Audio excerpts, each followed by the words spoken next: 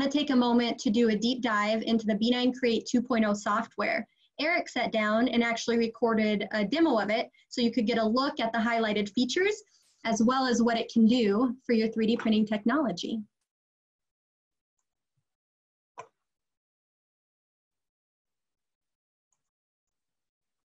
All right, I'm going to show you a few features inside our new B9 Create 2.0 software using fast technology.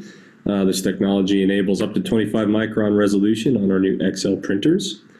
Uh, first thing I'm going to do here is import a file. We have a new importing screen here. Done. All right. Let's take a closer look. First thing you'll notice is that there's these um, areas that are highlighted in yellow. That yellow is actually what we call the auto support auto support area or highlighter uh, rather. This can be tuned via the menu on the right.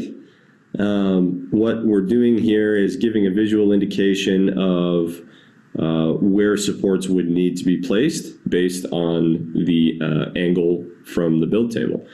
So um, given this model here, I think I would probably put it at 45 degrees.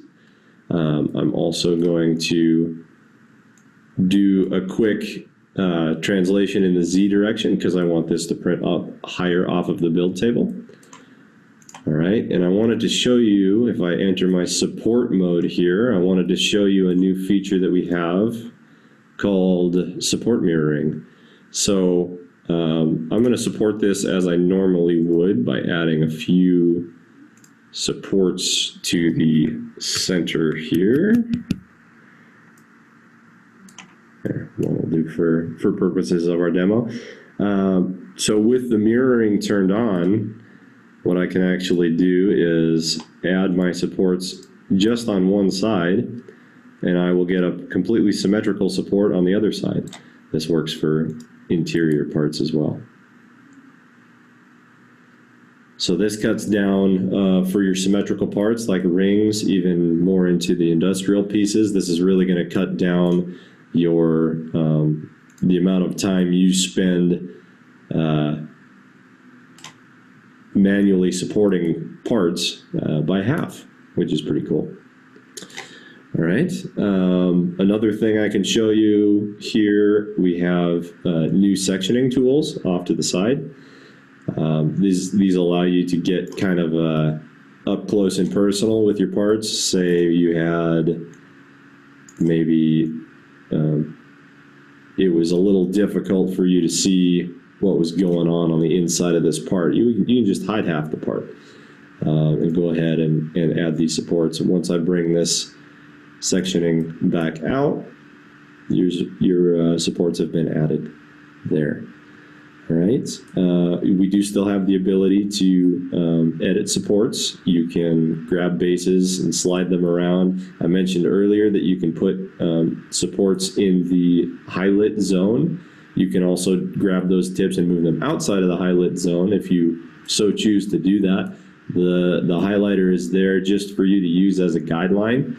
Um, for, you know, mathematically speaking, this area is more likely to need a support.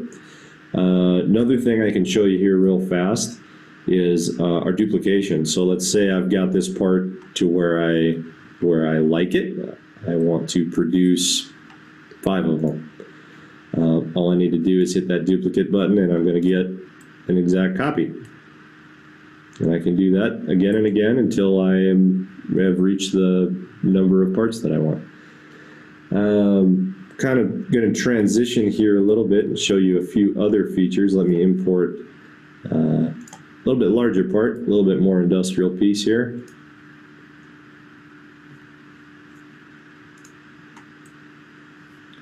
All right, so just like before, we have the yellow highlight area. Um, for this part, I'm actually going to tune that back just a little bit. I can get rid of um, some of the, I know right here based on this angle, uh, that the material that I want to print this in, which by the way is our rugged material, uh, I will be able to get away with having no supports down here just fine. So I'm going to dial that back just a little bit, 35 degrees-ish should work. Um, as I go to add supports here, uh, I'm going to do, I'm going to show you some of our new um, auto supporting. So um, what I'm going to do is actually create my own custom auto support. I've already got a, uh, a name here, but I can actually save this out and use it again on future parts like this. Uh, I have a few options um, to tune what I like here. Uh, what I'm going to do is go ahead and auto support the part. And that's going to give me kind of a preview of um, you know what my options here on the right are giving me. Bear with me just a second while that loads. There we go.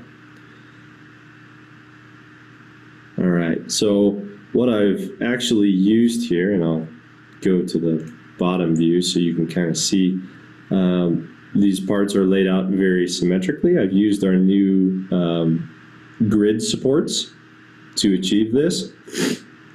Um, they give the bottom of your part, if you have a big flat area that needs support like this part has, they give the bottom of your part a really nice um, finish. You'll still have some support scars uh, from where the supports were, but you're going to be uh, a lot more, you're going to have a lot more fidelity to your original file.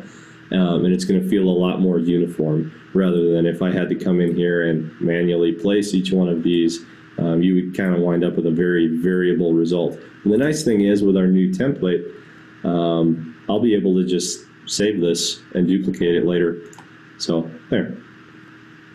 Um, next thing I can show you is um, the, the new slicing.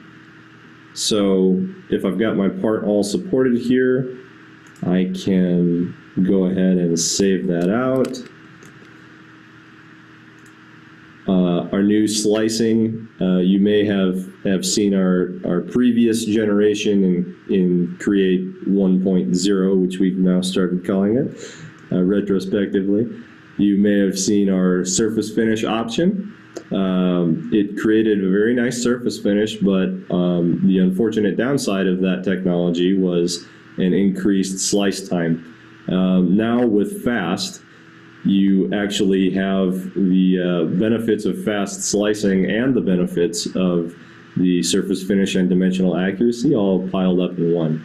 So um, our new our new slicing is actually showing you layer by layer um, how the part is going to be built.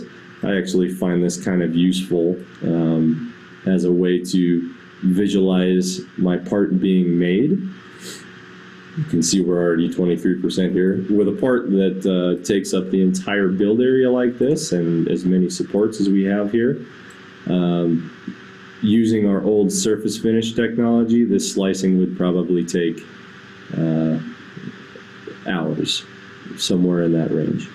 Um, and we're going to be done here in, in just a matter of minutes, which is pretty cool. Uh, while this is going on, I'm going to go ahead and mention too, we talked about the, the auto support and how you could save out your, your kind of scheme for auto supporting. Um, you can actually save out more than that in our new software. You'll have the ability to um, create part templates, um, which which will save um, your auto supports as well. It'll save your auto supporting angle.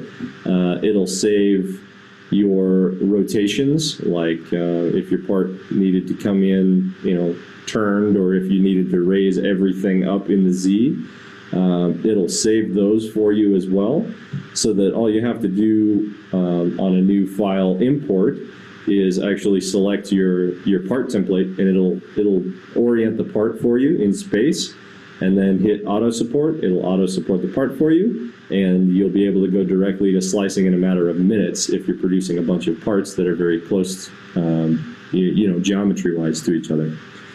Uh, okay, so we're done slicing here. That took only a few minutes. Um, the next thing I'm going to show you here is the ability to um, add the add the part to your printer. I've already got a printer selected. I can choose from any in this list as long as they are um, the correct printer type that I've sliced for. Um, all I need to do to add this project is click the little blue button once I've selected my library here. So that, um, that's going real quick. I'm going to show you um, a few more features um, inside the software here just as soon as this is done loading. Bear with me just a second here.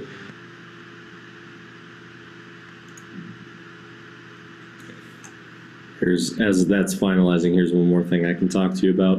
Um, our old software actually had this feature too, and we carried it over into this new software. Um, the print queue actually uh, gives you the ability to line up um, prints in the order that you want them to be printed so that you can have a printer manager actually managing, um, you know, at, at what at a high level what project needs to be done first um, and in what order things need to be done. And then out on the printer, you can have a completely separate person, maybe a manufacturing person, some sort of printer operator, full-time printer operator, just running through that list in the order that it needs to be done in. Um, and and that that's really convenient for them. They don't have to select their uh, materials. They don't have to select the the file that needs to be printed. They don't have to select the slice thickness. That's already been pre-chosen. Uh, and all they have to do is um, hit go and pull the print out when it's done. All right, so once I've got my file uploaded here, um, I'm essentially done. I need I just need to go press start on the printer.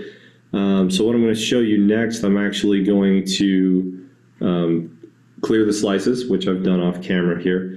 I'm going to open up the printer and I'm going to show you some of the printer uh, dashboard features that we've included. This is going to be really nice for um, uh, managers, for uh, business owners. It's going to be a nice way to kind of track some of the uh, work you've been doing.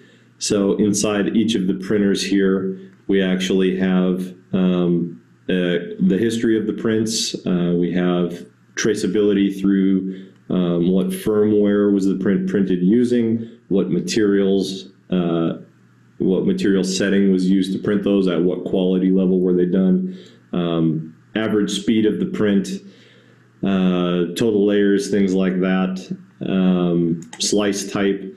This this is going to be really nice um, to kind of keep track of what you're doing day to day. We also have the ability to export those as a CSV format. So you'll be able to take all of this data, import it into Excel, and do all sorts of number crunching. Um, a lot easier than you were able to do it before. That would have been a very manual process before. So that's something that we're kind of um, pretty proud of. Um, next up, I want to just let you know, make you aware that this is here. Uh, we have a new workflow mode. All right, to show you the workflow mode real quick, I'm going to start a new project. All right. Change over workflow mode. All right, workflow mode is intended for new users. Maybe you're new to 3D printing, uh, new to the layout part of 3D printing. Uh, what we're trying to do with this is um, instill in you the right uh, methodologies for for laying out your part.